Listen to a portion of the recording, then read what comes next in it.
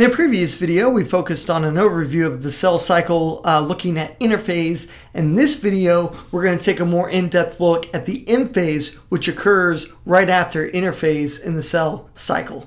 So we have uh, some diagrams here. We're going to start with A. When I look at A, I see that these chromosomes have become visible. And that's what happens during prophase. The chromosomes become visible. And then it wants me to label number one, uh, 9, and 10.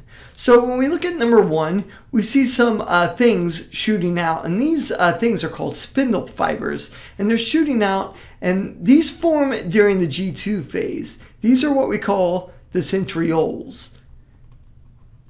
And they shoot out spindle fibers and they'll attach to the centromere. Looking at number 9, we see that this whole thing is a chromosome. And that's what it's referring to there. And all of this is part of prophase. And then number 10, we're looking at this membrane surrounding where you can find the chromosomes. And we find our chromosomes, our DNA inside the nucleus. This is what we call the nuclear membrane or the nuclear, nuclear envelope. Either one would be fine. I call it, with my students, the nuclear envelope. You can call it the same, but the nuclear envelope and the nuclear membrane are the same uh, thing. All right, so we go over to B. After prophase comes uh, the next part, which is metaphase.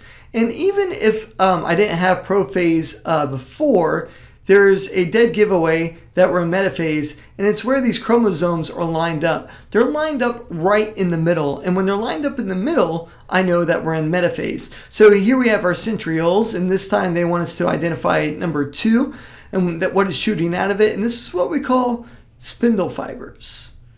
And these will attach to the centromere, which is right here in the center of each chromosome, and start pulling them apart, which brings us to the next phase, anaphase. And this is where they start pulling the chromosomes apart. So here we're not pointing to the whole chromosome, we're pointing to what's called the chromatid. So this is the chromatid. And this brings us to the next phase, telophase. remember, we said telophase and cytokinesis happen at the same uh, time.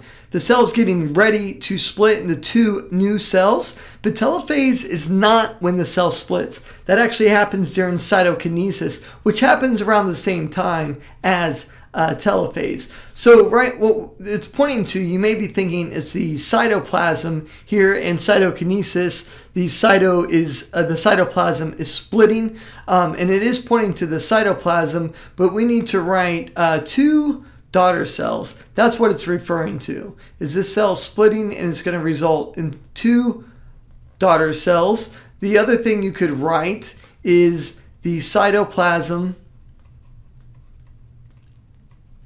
will split. Because it's not splitting yet, it will split, and when it splits, it will split during cytokinesis. And that brings us to E. And you might be saying, well, PMAT, we've done prophase, metaphase, anaphase, telophase. What's the last phase here? Can't be cytokinesis because the cell that would happen the same time as telophase, and you're right. And we said after uh, telophase and cytokinesis, the cell goes back to G1S and G2, and that is interphase. And when we are in interphase, the chromosomes aren't visible. They're a tangled mess and they literally look like this. I can draw here. It's just a tangled mess and we call that chromatin. The chromosomes aren't visible. As they start to spread out, they will become visible. Then we have eight. These are the centrioles and they will mature during uh, G2. Then we have this dark mass inside the nucleus, and this is the nucleolus. And then we're left with this thing right here, which surrounds the cell, and that would be the cell membrane. You could also write the plasma membrane. Either way would be fine. So that takes us through the in-depth cycle of the M phase, which is prophase, metaphase, anaphase, and telophase. If you have any questions, post a comment below. I hope you found this video helpful. We'll see you guys in the next video.